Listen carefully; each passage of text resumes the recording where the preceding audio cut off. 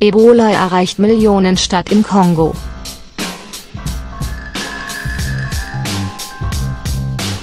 Im Kongo wurde der erste Ebola-Fall in einer Großstadt bestätigt. Er erhöht das Risiko deutlich, dass sich der Ausbruch ausweitet. Ebola zählt zu den gefährlichsten Erregern der Welt. Das lebensgefährliche Ebola-Virus hat nun auch eine Millionenstadt in der Demokratischen Republik Kongo erreicht. Aus der 1,2 Millionen Einwohnerstadt Mbantaka im Nordwesten des Landes sei eine Ebola-Erkrankung gemeldet worden, teilte die Weltgesundheitsorganisation, WHO, mit. Zuvor hatte sich der Ausbruch auf ein Gebiet beschränkt, das etwa 150 Kilometer von Mbantaka entfernt liegt. Die Situation sei mit dem Fall in der Stadt äußerst ernst und besorgniserregend geworden, sagte Henry Gray, Notfallkoordinator von Ärzte ohne Grenzen. Der aktuelle Ebola-Ausbruch ist der neunte im Kongo in den vergangenen 40 Jahren. Bisher waren aber alle in sehr isolierten Regionen, wie vergangenes Jahr in Likati, wodurch sich die Krankheit nie weit verbreitet hat. Die WHO hatte vergangene Woche über den Beginn des Ausbruchs informiert.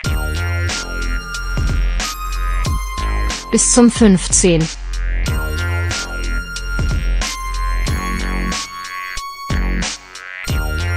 Mai waren demnach 44 Erkrankungen gemeldet worden, von denen bislang drei im Labor bestätigt wurden, einer davon ist der Fall in Mbantaka. Mehr als die Hälfte der Betroffenen ist gestorben.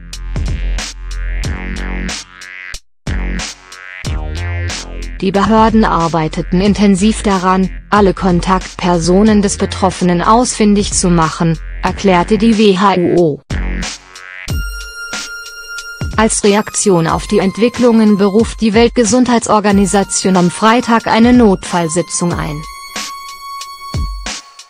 Dabei soll entschieden werden, wie groß die Bedrohung auch für andere Länder ist. Das Expertenkomitee könnte den Ausbruch zu einem sogenannten Public Health Emergency of International Concern erklären, zu einem internationalen Gesundheitsnotfall. Das hätte zur Folge, dass mehr internationale Ressourcen für die Bekämpfung mobilisiert werden würden, so die WHO. Experimenteller Impfstoff im Einsatz.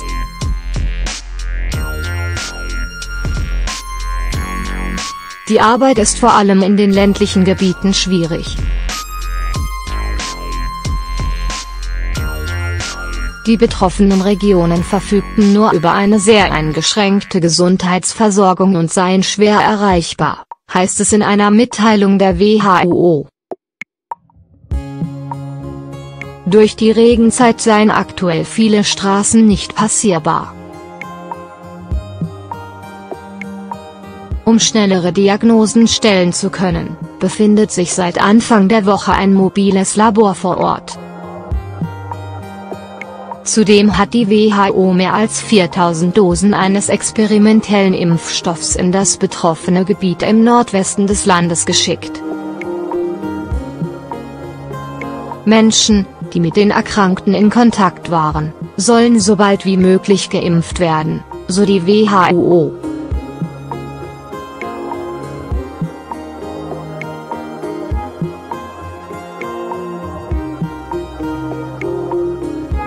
Es ist der erste Einsatz des Impfstoffs seit seiner Entwicklung vor zwei Jahren.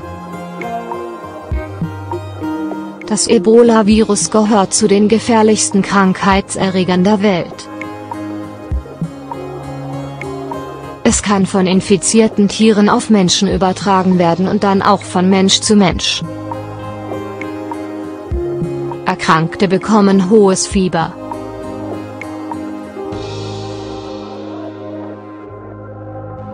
Sie erbrechen sich und haben extremen Durchfall, so dass sie gefährlich viel Flüssigkeit verlieren. Auch lebensbedrohliche innere Blutungen können auftreten. Bei einem Ausbruch 2014 und 2016 starben in Liberia, Guinea und Sierra Leone mehr als 11.300 Menschen.